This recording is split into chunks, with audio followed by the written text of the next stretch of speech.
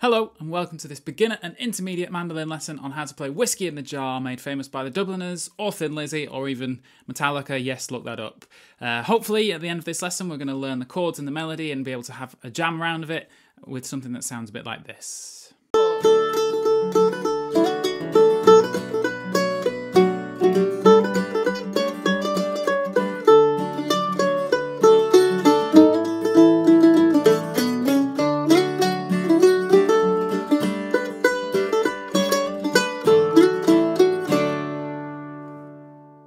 Should say that everything we talk about over the next 10 12 minutes or so is included on a PDF, which is linked in the description of the video below. So make sure you have that in front of you so you don't have to learn any of this by ear. So we're going to start by learning the chords. Now, all versions of this song has the same chord chart, just in different keys. So the original Dubliners is in C. Their 40th anniversary concert, which is on YouTube, is in D. Um, Thin Lizzy do it in G, and Metallica do it in F. So this really can be moved to any key that you want. It's not stuck in, uh, you know, an original key. I'm going to choose the key of D because I like how that sits on the mandolin. So we'll start with the verse, nice and simple. Three chords to it: D. B minor, and G. And then there's only one more chord you need actually when we look, to the chorus, and that's an A. And there's two different ways you could approach those chords. If you're in, you know, a rowdy Irish pub and you've had maybe a few whiskies, you might want some open chords. You might want some some notes ringing out. So if that's the case, I have given you four suggestions, and this is mainly for beginner players if you've not done these before. So you've got D 2002, B minor 4022, G 0023, and then A 2200, which I play with just my index finger, but you could play that with index and middle if you need to. So they're nice and open chords, so you can kind of join in with uh, the feel if that's what's going on. Alternatively, you could do what I call closed chords, which is where you take away some of the open strings and use a lot more of the fretted notes, and that gives you a bit more control over the chords. So in that instance, my D would be this one, two, four, five. My B minor, four, four, five, seven with your pinky finger on the, the high note there. Same G, can't really get around that one. And then A, 2245. So with those closed ones, you can control the note length by releasing the pressure. So that allows you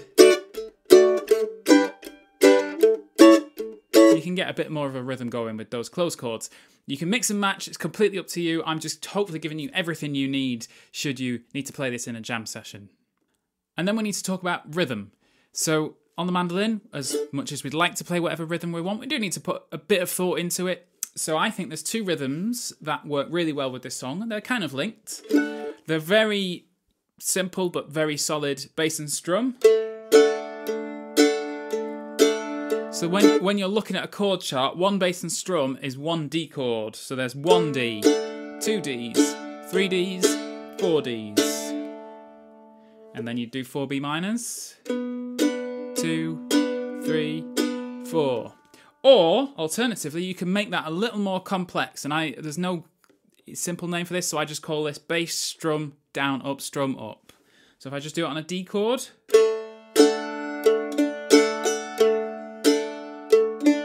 So bass, strum, down, up, strum, up. And again, that's tabbed out in the PDF if you want to see what that looks like. So now what we need to do is we want to have a jam through the chord chart. And at this point, I'm going to bring my bandmate Jay back in. And what we're going to do, so we're going to play a verse and a chorus. And don't forget, there's a little times two next to the verse, which means you do the verse chords twice. So you do D, B minor, G, D, D, B minor, G, D, and then the chorus. And I'll overdub a mandolin playing the melody so that you can hear everything in context. Uh, one, two, three, four, D. B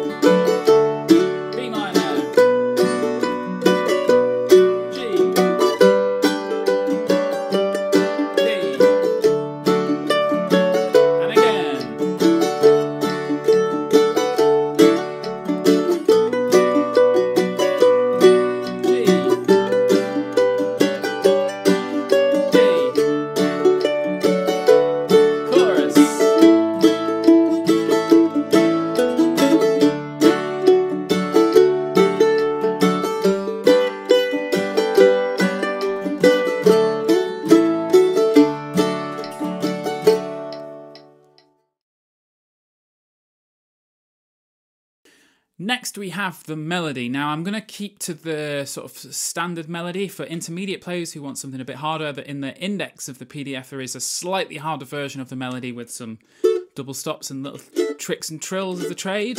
So, the verse melody. There's our opening phrase. So let's do that together. Oh, one, two, three. Second phrase, after four. Oh, one, two, three, four. So if we do those together, a one, two, three.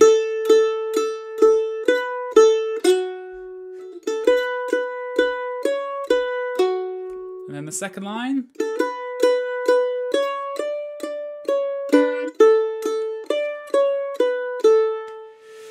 So I will stick the metronome on just to keep me in time, and let's play that verse round twice. So that's at 140, uh, so it's about this speed.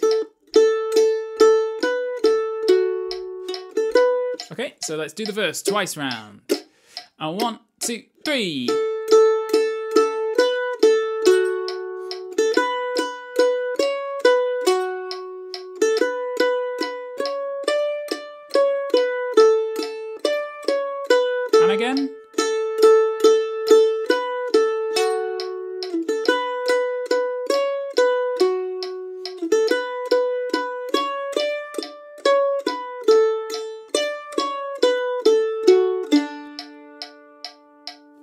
And then the chorus. The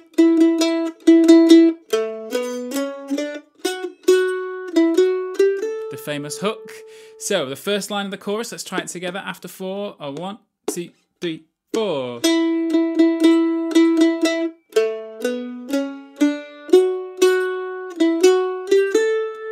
And then the second line after four, after this, yeah, three, four, one. Three, four, one.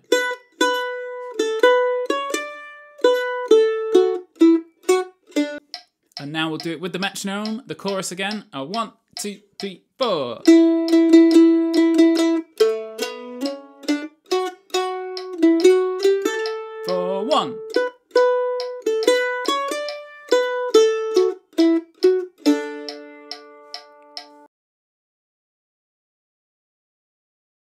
So uh, you've probably guessed this is coming, but what we're going to do now is we're going to have a jam round of the tune. So I'm going to bring my bandmate back in, and we're going to play twice through the whole thing. So verse, chorus, verse, chorus. And that is just for you to switch between the two. We're not going to sing it. We don't want to ruin the the lyrics because we're not Irish. It would sound very weird. But we're going to play the melody, and I want you to switch between chords and melody and uh, so, so you can practice both. So that when you come to playing this with other people who may want to sing it you know exactly how to join in. Oh, one two three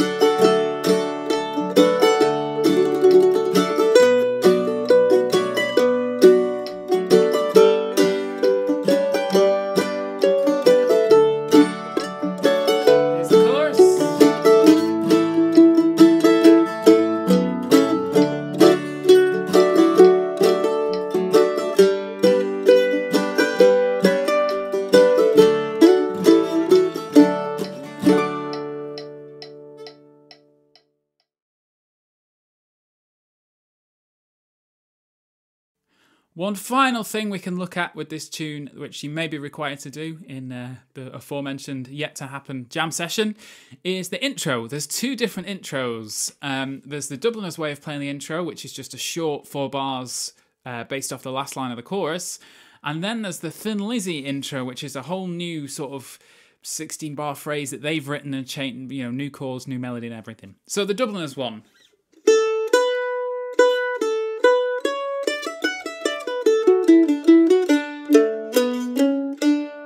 Into the chords. So if we just, if I try try that round a few times, after three, oh, one, two, three.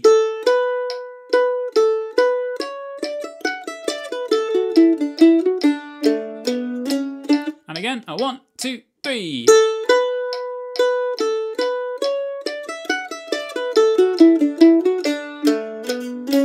One more time for good luck. A one, two, three.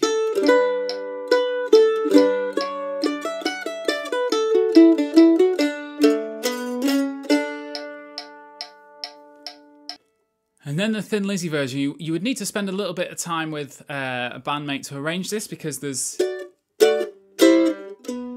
there's kind of like a chord intro. So um, you would have D, C, D minor, one, two, three. So there's kind of odd timings, but we'll do it with Jay in a minute. Um, but if I was just to play how the, the different riffs sound. Does that three times.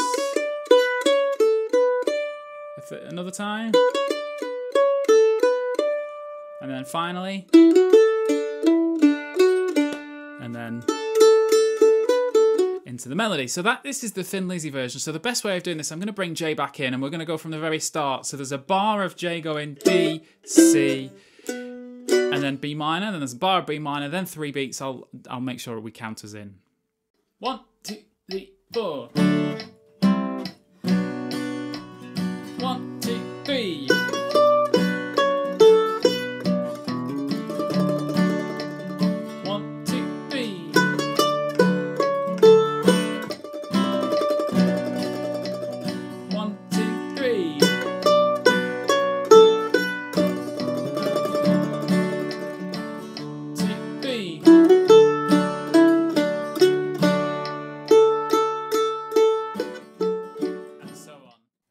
Hope you've enjoyed this whistle stop tour through Whiskey in the Jar. It's a great song. Um, don't forget, this applies to the Dubliners 40th anniversary version, which I've linked below, and you can head over there and play along with it because it's in the same key. And please do hit like and subscribe while you're here, and sign up to the mailing list over at mandomike.com. We'll see you next month.